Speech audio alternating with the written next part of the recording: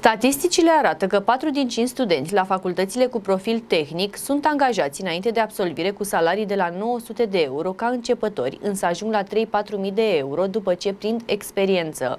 Acest lucru, dar și pasiunile din copilărie, au atras zeci de absolvenți de liceu către inginerie. Universitățile de profil își selectează aceste zile noi cursanți, multe pe baza unor examene dure. România are nevoie în următorul deceniu de jumătate de milion de ingineri, spun recrutorii universităților politehnice. Deși absolvenții acoperă numai un sfert din cerințele pieții, facultățile din orașele mari au păstrat un triaj serios. La Timișoara, peste 8.000 de candidați au dat un test scris pentru un loc de automatică informatică și calculatoare. Profesorii spun că tot mai multe industrii sunt interesate de studenții politehnici. Pe lângă IT, transport și comunicații vine tare din urmă și sistemul de sănătate. În spitalele publice și în clinicile private este nevoie de oameni care să securizeze informațiile. Aproape 60% dintre viitorii studenți la Politehnică vor profesa în domeniul în care iau licența. Jumătate dintre viitorii boboci din anul întâi au ingineri în familie. Cei 40.000 de elevi vor învăța din toamnă în uriașul campus al Politehnicii Tehnicii din Timișoara. 4.000 au fost înmatriculați în etapa de preadmitere pentru că aveau premii câștigate și au ajuns la standardele cerute de facultăți. Încă